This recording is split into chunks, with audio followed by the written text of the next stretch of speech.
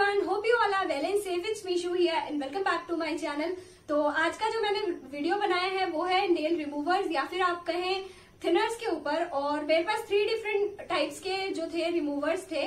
और मैंने इन पे रिव्यू दिया है कि आपको इनमें से कोई यूज़ करना चाहिए या फिर नहीं यूज़ करना चाहिए। और बहुत कुछ है इस वीडियो में। तो वो तो आपको वीडियो में आगे पता चलेगा। उसके लिए आपको ये वीडियो को पूरा देखना पड़ेगा। एंड तक बिना स्किप किए। और आप लोगों का ज़्यादा टाइम ना लेते हुए गेट स्टार्टेड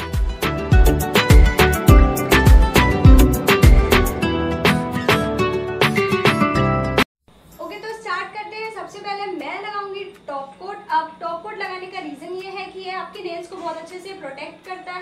और आपके काफ़ी क्लियर भी रहते हैं। तो अब मैं यूज़ करूँगी हमारी पॉलिश और ये आप देख सकते हो, यहाँ पे मैंने लाइट पर्पल या फिर लेवेंडर कलर आप कहो, ये मैंने यूज़ किया है। मुझे ये कलर काफ़ी ज़्यादा अच्छा लगा और आज के ये वीडियो के लिए भी परफेक्ट लगा तो मैंने ये यूज़ किया है। अब इसको यूज़ करना इसीलिए था क्योंकि मैं चाहती थी आप लोगों को सिर्फ़ ऐसे ही अगर मैं रिमूवर को यूज़ करके दिखाती तो शायद उतना अच्छा आपको हेल्प नहीं करता।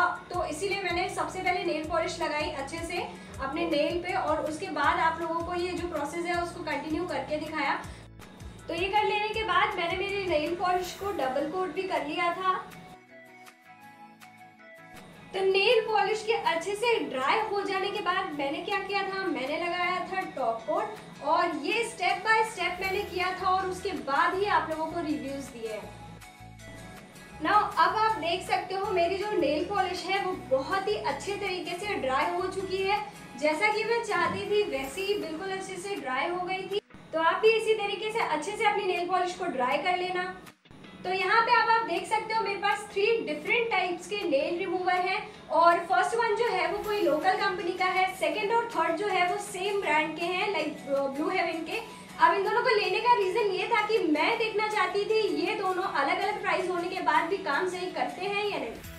तो अब आप यहाँ पे देख सकते हो, मैंने लोकल वाला रिमूवर फ़र्स्ट यूज़ यूज़ किया है। और मैंने मेरे साइड पे है फ़ोन यूज़ किया था एज अ स्टॉप वॉच और मैंने क्या किया था कॉटन में ये लोकल रिमूवर को ले लिया था और अच्छे से लगा लेने के बाद मैंने क्या किया था, मैंने स्टॉप वॉच जो है अपने भाई को बोला था स्टार्ट करने के लिए, जैसे ही मैं मेरे रिमूवर को अपने नेल पे रखूँ और उसी तरीके से मैंने सिर्फ़ थर्टी सेकेंड्स लिए थे सारे को रिव्यू देने के लिए, क्योंकि अगर सेम टाइम होगा तो ही मैं अच्छे से पता लगा पाऊँगी कि वो सच में अच्छा है या नहीं।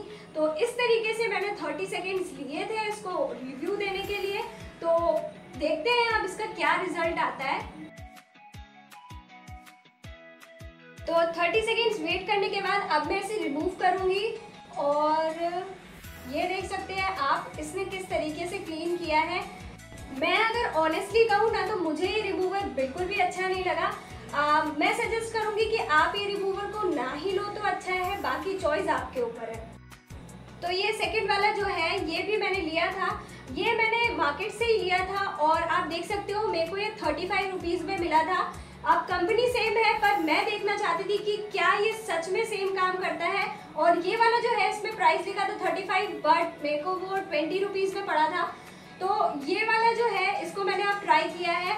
सेम उसी तरीके से मैंने मेरे नेल पे ले लिया और साइड में मैंने स्टॉप वॉच को यूज़ किया है। और टाइम स्टार्ट कर लेने के बाद मैं अब देखूँगी कि क्या ये सच में पहले वाले रिमूवर से अच्छा काम करता है या फिर उससे बेकार काम करता है तो उसके लिए मेरे को तो वेट करना पड़ेगा थर्टी सेकेंड्स के लिए। और क्योंकि मैं चाहती थी आपको मैं एकदम अच्छे से जो भी सही सही है वो आपको रिव्यू दो, इसीलिए मैंने उसके लिए स्टॉप वॉच को यूज़ किया, जैसा कि मैंने आपको पहले भी बताया। तो इससे क्या होगा, इससे आप लोगों को हेल्प मिलेगी अच्छे से। तो ये हो जाने के बाद 30 सेकेंड्स मैंने रिमूव किया। आप देख सकते हो कितना फ़र्क है दोनों में। सेकेंड वाले रिमूवर ने कितना अच्छे से काम किया है।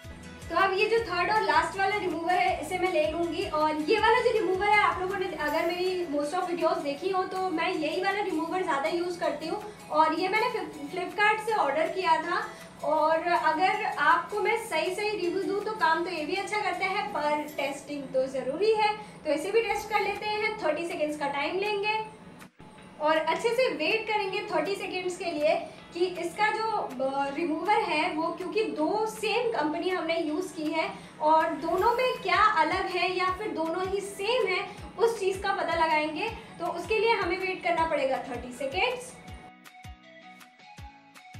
तो अब 30 सेकेंड्स वेट कर लेने के बाद मैं इसको हटाने वाली हूँ और ये वाला जो मैंने रिमूवर यूज़ किया है, आप दोनों में ही देख सकते हो, दोनों का वर्क जो है थोड़ा सा ही डिफरेंट है, पर अब आप क्लीन भी एक ही स्ट्रोक में कर रहे हो और कंपनी भी ब्लू हेवन है तो मेरे ख्याल से तो ये अच्छा ही काम किया है। एक बात और जो मैं आपको बताना चाहूँगी, वो ये है कि ये जो नेल रिमूवर है ब्लू हेवन वाला, छोटा वाला ये जो है इसकी जो कैप आई थी ना, वो बिल्कुल भी अच्छी नहीं है। आप देख सकते हो, मैं इसको प्रेस कर रही हूँ और ये निकल के वापस बाहर आ जा रहा है। और ये चीज़ जो है, इसकी वजह से मेरा रिमूवर ज़्यादा निकल रहा था। और वहीं पे अगर मैं ये वाले रिमूवर की बात करूँ तो इसकी कैप जो है, वो बहुत अच्छी है। इससे मेरा रिमूवर जो है, वो बाहर नहीं निकलेगा वेस्ट नहीं होगा। So I hope you guys enjoyed the video और अगर वीडियो अच्छी लगी हो हेल्पफुल रही हो तो लाइक कमेंट और सब्सक्राइब कर देना। सब्सक्राइब करके बेल आइकन को ज़रूर प्रेस कर देना सो देट आपको हमारे हर एक वीडियो की नोटिफिकेशन मिलती रहे।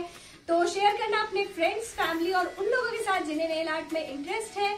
और मैं मिलूँगी आपको फिर किसी वीडियो में किसी नए टॉपिक के साथ। तब तक के लिए बाय बाय